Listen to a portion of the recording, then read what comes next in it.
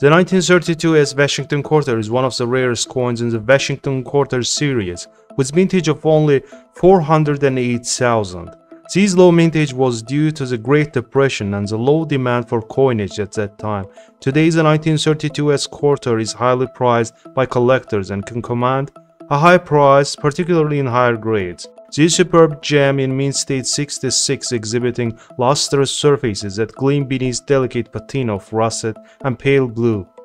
A rare example with fantastic detail and great eye appeal which ended up selling for $45,500 at David Lawrence auction. Moving on with this 1964 proof Kennedy half dollar, the popular accented hair variety, Type 1. Graded as PR68 by PCGS, comes with deep cameo designation, which means this coin features stark contrast between frosted reliefs and mirror-like fields. Of the over 3.9 million proofs that the Philadelphia Mint struck for the first year 1964 Kennedy dollar. Rick Tomaska estimates that only about 100,000 coins are of accented hair variety. The easiest way to differentiate between the Type 1 and Type 2 designs is to look at the hair strands directly above Kennedy's ear. On the accented hair variety, two prominent strands in the area form V-shape. That's not seen on the Type 2 examples.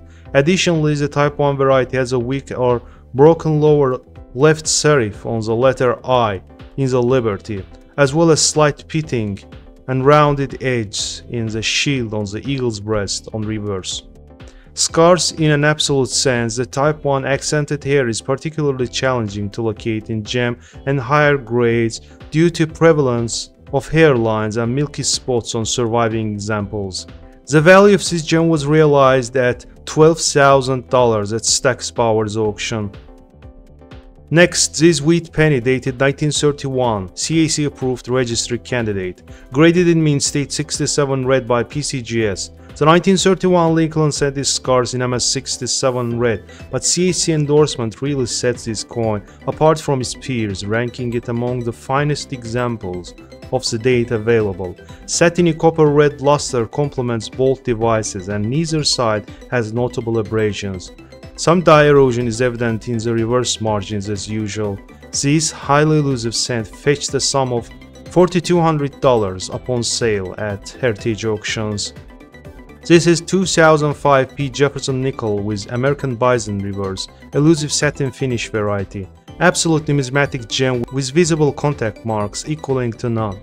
Graded as SP70 by PCGS, the satin finish is special treatment that gives the coin a muted, brushed appearance that's different from typical shiny finish.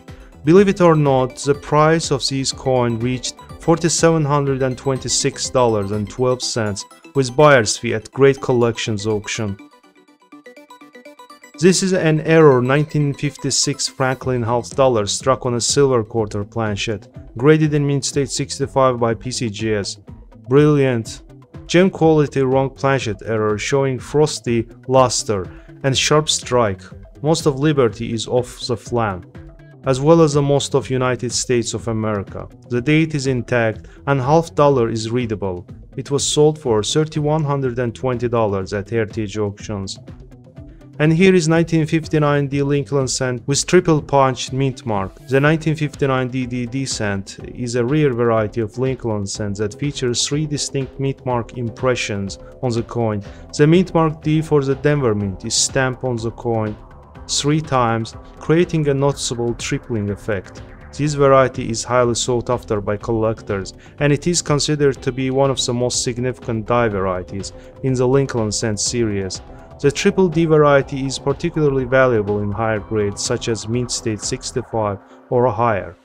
This gem in MS66 red condition was sold for $1,103.12 with buyer's fee at Great Collections auction Thanks for watching guys, don't forget to hit like and subscribe buttons. Have a nice